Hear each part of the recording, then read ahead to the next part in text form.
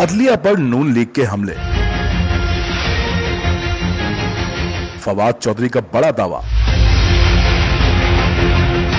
पाकिस्तान तहरीक इंसाफ के रहनुमा और सबक वज़ीर फवाद चौधरी का कहना है कि नब्बे दिन में इलेक्शन होना लाजमी है। फवाद चौधरी ने कहा कि आइन के तहत सुप्रीम कोर्ट का फैसला हतमी है। अदालती निज़ाम पर बात करते हुए रहनुमा तहरीक इंसाफ ने कहा कि पाकिस्तान में अदालती निज़ाम को मज़ाक बना लिया गया है। यहाँ अदालत हुक्म देती है और अमल नहीं होता। कोई हुकूमत सुप्रीम कोर्ट के फैसले को मानने से इनकार नहीं कर सकती। रहनुमा पाकिस्तान तहरीक इंसाफ ने कहा कि हम अदलिया की इज़्ज़त की जंग लड़ लड़े नून लीग को तनकीद का निशाना बनाते हुए फवाद चौधरी ने कहा कि नून लीग की अदलिया पर हमलों की तारीख पुरानी है। सबक वज़ीर ने मजीद कहा कि मौजूदा हुकूमत इलेक्शन से भाग रही है।